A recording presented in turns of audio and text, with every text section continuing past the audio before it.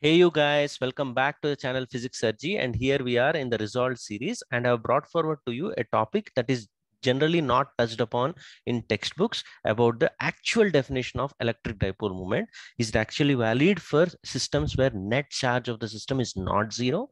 And we'll also top it off with a cute little mechanical analogy, which carries similar calculation from rotational mechanics. And at the end of this video, we'll top it off with another practice problem that tests your understanding of what we are going to deal with in this video. And as a bonus, what we are going to do is our next video will will be the video solution of that practice problem. So it is a double bonanza and lots to look forward to. So I'm pretty excited. I hope you are too. So let's move forward.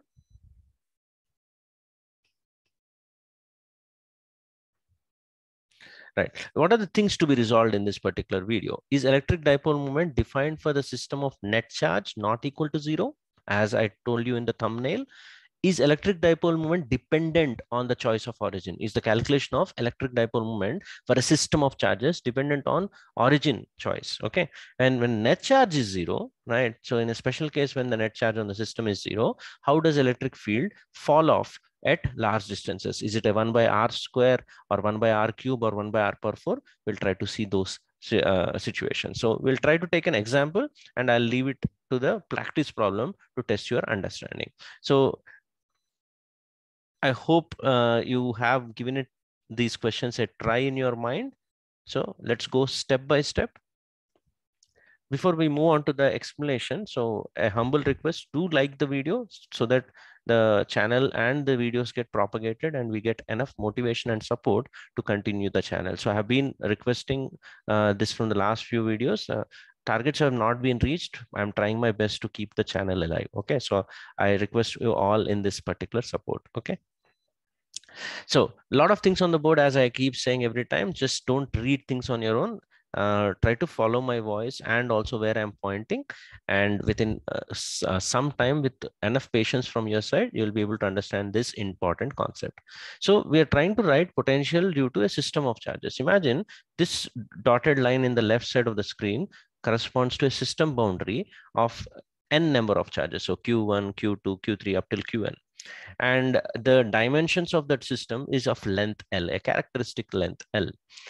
And at a very far away distance, at a point P somewhere here, at a distance R from the origin O, you are supposed to find the potential. Let's suppose this is our uh, uh, effort. Okay. Now, each and every point charge here will have its own position vector to this point P, target point P. And our job to write that potential would be equal to K being 1 by 4 pi epsilon naught throughout carried out. Uh, sum of each contribution. So if this is Qi here, uh, you have to divide it with the modulus of this vector subtraction. So what is this vector subtraction? It is R bar minus Ri bar. Ri bar is the position vector of Qi with respect to the origin. That's what I have written here. And also we, we know that the R bar can be written as the magnitude of the distance R multiplied by ER cap vector. There is a radial unit vector that we will substitute in the later calculations. Now, for the dimensions of the system, L being very small compared to R. So this would be a condition for a general situation where R could be even smaller. But if by chance the dimensions of the system is very small compared to R, R, you can say this R is a very large distance from the system. We can make some approximations here. That approximation is the idea that this R minus R i bar vector, right? This vector, once, once this triangle has this size very small, then this one almost coincides with this one. Only difference being that r minus ri could either lie on this side of this point or on this side. Okay, but you could say that in this triangle, if this side is very small, this is almost equivalent to this. Okay, with a small difference. That difference would be equal to the length of this thing.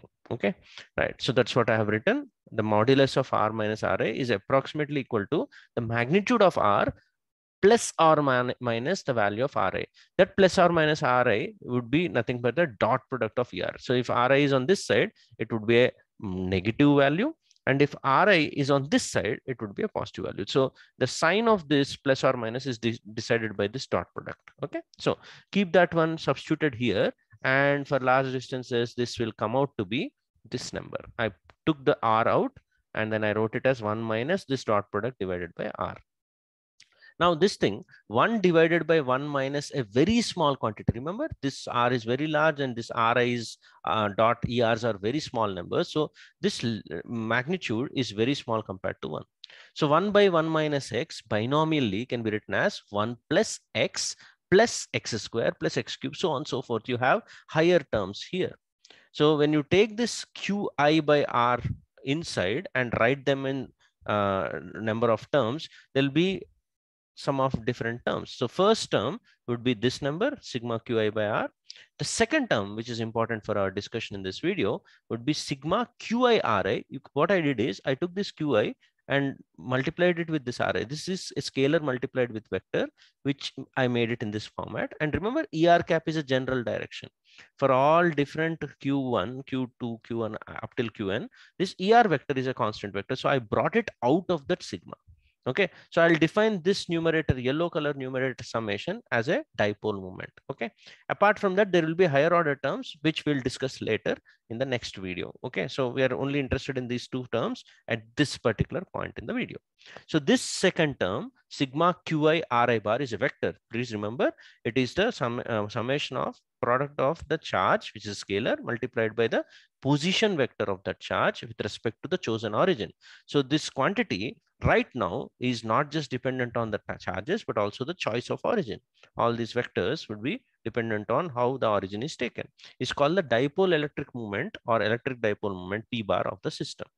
Now, I have nowhere in this particular discussion talked about sum of charges being zero. So dipole moment is actually defined even for a system where the net charge is not zero. You can have a non-neutral system for which electric dipole moment can be defined it is origin dependent in general, except when the first term, that sigma qi becomes zero. I'll prove it in the next step. Okay, so whenever sum of the charges is zero, this quantity becomes origin independent. It will not depend on where you choose this O, which is interesting. So let's move forward. Ah, right. So here I brought that uh, expression from the previous page. So this this whole expression, I'm copying it to the next page so that we can uh, cover it up. And this higher order terms, I'll discuss it in the next video as I uh, talked about. So these two terms will decide the potential at a far away distance for a system of charges. Okay, so if I'm writing the dipole moment as this sigma qi ra bar with respect to the origin O here, then I, if I define a new origin here, that you can see at the bottom right of your screen, O prime, let's say is the new origin and I define a new R bar prime. And also the position vector of this origin O prime with respect to O can be written as RO bar. So every RI bar here, I can start writing in terms of this R bar and RO bars. Okay, so the new dipole moment vector should be defined as sigma of each charge multiplied by r prime i bars. Every new vector will have its own r prime i bars, which in turn can be written as r i bar minus ro. So this constant vector that you should just subtract. So you're shifting the origin from the original O to a new one. So this Ri will get shifted to Ri minus Ro. Now you do the simple sigma uh, here. The first term is nothing but this expression minus an extra term will come into account. So in general, this P bar and P will not be equal to each other because of this extra term. When can you have this uh, equality? When this bracket comes out to be zero. That is when P and P prime bar will become zero. So whenever sum of charges of a system are zero, for example, in case of a dipole, where plus q and minus q are separated by distance, then the dipole moment becomes origin independent. And until unless that happens, your uh, dipole moment is defined for general systems and it depends on origin. I've given you two examples of system. Q, Q and minus 2Q as one system forming a equilateral triangle this is actually going to have a net charge zero. In this, P is origin independent. So whether you take origin here or here and do sigma qi ri, you'll get same values for all the points. Whereas on the right hand side, you could see I've taken a similar looking system, just I changed this Q to minus Q. For this also P bar is defined. Don't say that sum of charges is non-zero and therefore dipole moment is not defined. It is defined, but problem with this is that you have to choose the origin and different origins here will give you different dipole moment. So why all this fuss? Why need do we need to define a dipole moment for the system will be revealed in the next slides. Okay, right. So you should have some reason for defining this thing. And the, one of the reasons you will realize is that this particular expression, I've come back to the previous slide, this expression will give us uh, the idea of the potential at large distance points. That is why we need uh, to define dipole moment. Just because it looks like a fancy sigma or fancy summation, we don't define it. Just for the fun, we don't define it. Because during the calculation for potential for a system of charges, this expression showed up. That's why we define or name any physical quantity in physics because of its importance. Okay, so let's try to see that for dipole moment of a dipole is a special case. Dipole is a plus q and a minus q separated with a distance d. So you choose any origin anywhere. The answer for the dipole moment, the sigma qi ri, when you do, you'll have only two terms, will come out to be simply q into the displacement or the uh, line joining the two uh, negative and positive charges. And that is a, a, a example or a, a, you could say a special case okay? It's not a general case right? So this should not be used as the definition of dipole moment every time. You can define electric dipole moment for a non uh, zero charge systems also okay? So that was the whole point of this video now, mechanical analogy with the torque, right? Even in torque calculations, right? For a system of uh, forces on a on a uh, complete rigid body, there are multiple forces acting on it, uh, there could be two cases. Either sum of all forces is non-zero, that means net force is non-zero, or net force is zero.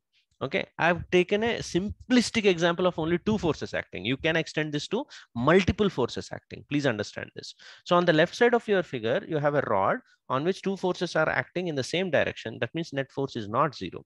Now, if I choose two different points, O and O prime, and I try to calculate torque of these forces about O, first calculation, and about O prime, you'll get a different answer. Okay, so if the forces sum is not zero, you can check it out by writing the sigma and r cross f and everything. Torque will be dependent on the origin or the point about which you take the torque. Whereas in the special case of force being equal and opposite, and that means the net force is zero, you try to calculate torque about this or about this or about this any point or outside the screen right now, you'll end up getting the same value of f into the line joining the two forces. Similar to Q into D being the dipole moment in the previous slide, F into D will become the couple torque. And that's why this is called couple. And uh, the analogy is that in that topic, it is the dipole's dipole moment, which is independent. Here, the torque of a couple is independent. Okay, that's the whole idea that I wanted to propagate. Okay, so let's move on to, the importance of defining dipole moment. Let's let me reiterate again. I copied that term okay as you could see in systems where the sigma qi term is zero that means the net charge of a system is zero right? Which is very important in chemistry uh, situations where a compound is about to react and some of the charges on the compound is zero but you still have a potential and a field developed by that compound. And it, it, helps you understand the reaction mechanism especially in organic chemistry where uh, the field as at, uh, for, for, a distance r from that particular compound how it falls off decides the reaction mechanism. Okay so so if this term becomes zero then this term takes its importance in deciding the potential. So for a simple dipole remember for a simple dipole if sigma qi is zero and this term is not zero, the potential falls off as one by r square and therefore field falls off as one by r cube for a dipole. A simple looking dipole system, if you uh, can carefully observe something like this, let me show that. Yeah. So for a dipole, plus and minus q, Okay, so if I stop it here, right now the distance between the two charges is substantial enough and you have a field which is not that great looking okay? You still have a field. So if i let this distance to be very small between the two charges plus and minus q then any distance away from it you can consider to be a large distance. So let me allow the point charges to almost merge into each other. Yeah here. Here okay right. So this is like almost a point dipole. So every point somewhere here is a large distance point. And the field map that you are right now seeing if you move along one particular direction in that direction for a distance r the field falls off as 1 by r cube. Or you move in this direction right, once you define first of all you have to define a direction. In that direction if i move to distance r1 and then move to r2 the R1 to R2 fields will be proportional to 1 by R1 cube and 1 by R2 cube. That's the whole idea that we were trying to talk about. What if a system, uh, sum of the charges is zero, but you also have this term equal to zero.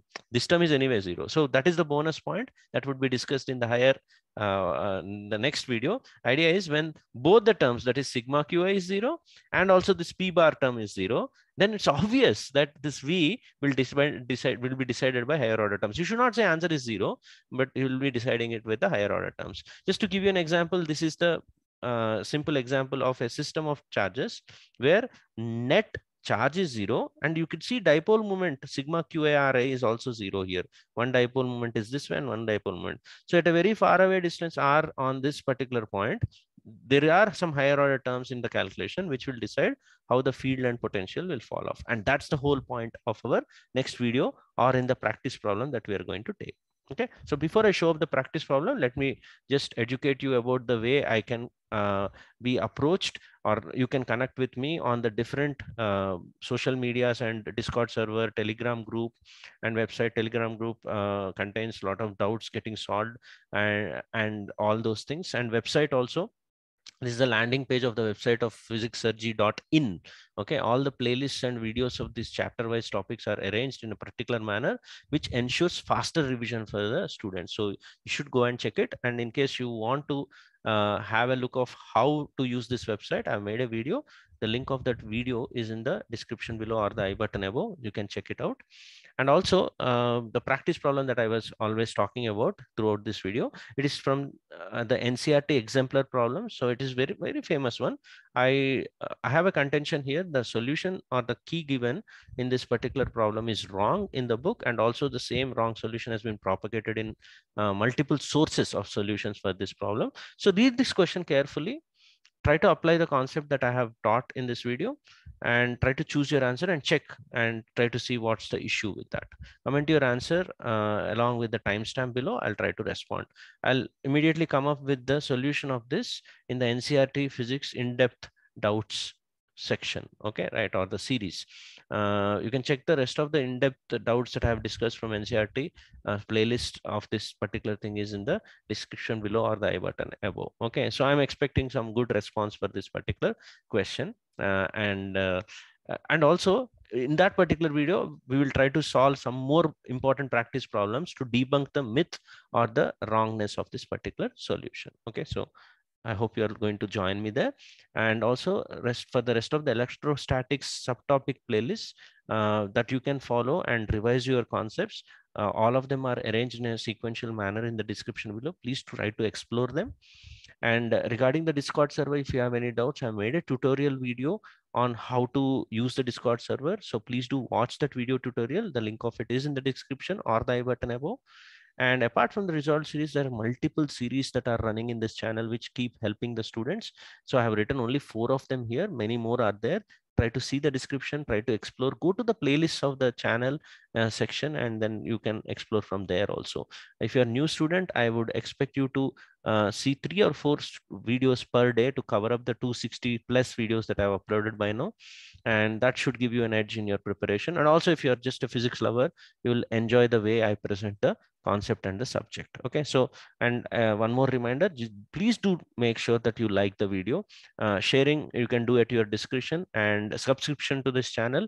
Once you watch few videos uh, i'll leave it to your good judgment on whether to subscribe or not.